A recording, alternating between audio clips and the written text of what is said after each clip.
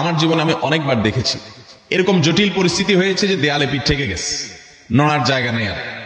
কোন আপাত দৃষ্টি থেকে এই বিপদ থেকে উদ্ধারের কোনো পথ নাই।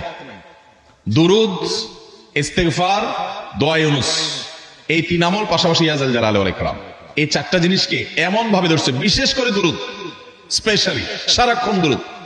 আল্লাহ রব্বুল আলমিন এমন ভাবে সহযোগিতা করেছেন এমন ভাবে উদ্ধার করেছেন যে কল্পনা করলে অবাক লাগে এখন যে এটা কীভাবে সম্ভব।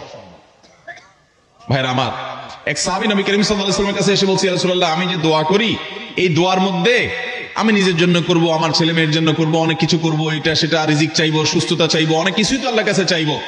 আপনি তো আল্লাহর রাসূল, আপনার জন্য দোয়া করলে আমাদেরই লাভ, একবার দোয়া করলে আল্লাহ দশবার রহমত নাজিল করবেন। তো আপনার জন্য আমার দোয়ার ভিতরে কত পার্সেন্ট রাখব?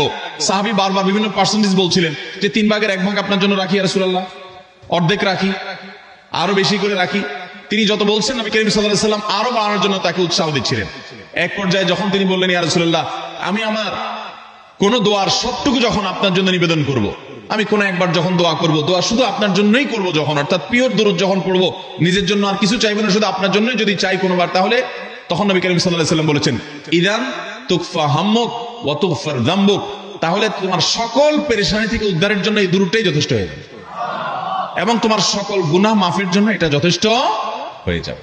মোহতারাম হাজরিন, দুরুদের আমলটা এত সুন্দর আমল, কিন্তু আবার তাড়াহুড়া করে পড়বেন না।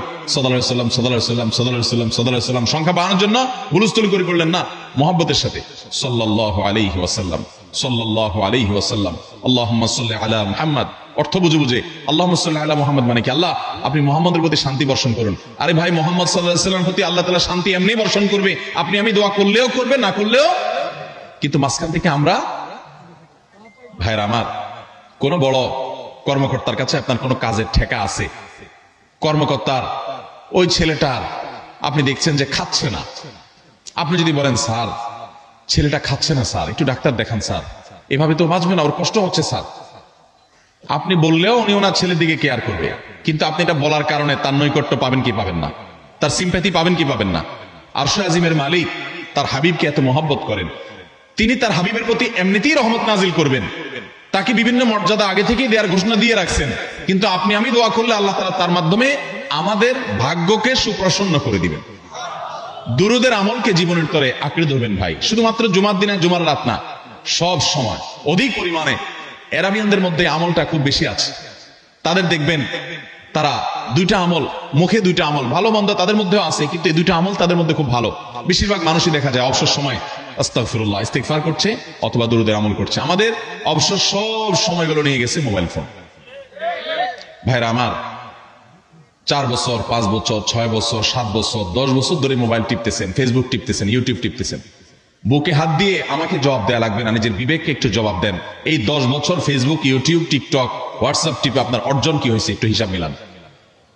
এই যে স্ক্রল করতেছেন আঙ্গুল দিয়া, ঘন্টাকে ঘণ্টা এই আঙ্গুল দিয়ে টানছেন টানছেন, নিচের দিকে যাচ্ছেন স্ক্রল করে ফেসবুকে ইউটিউবে একের পরে আপনার জীবনে অর্জনটা কি হয়েছে বলেন? ভাইরা আমার, এই মোবাইলের নিয়ন্ত্রণ করতে হবে। প্রয়োজনে ব্যবহার করতে হবে, কিন্তু এটাকে অনিয়ন্ত্রিত ব্যবহার করা যাবে না। একেবারে যখন তখন সারাদিন টিপাটিপি করলেন। আজকাল তো গোলাফান টয়লেটে গেলেও নিয়ে যায়। আল্লাহ তালা আমাদেরকে রোগ থেকে বেঁচে থাকার তৌফিক দান করুন।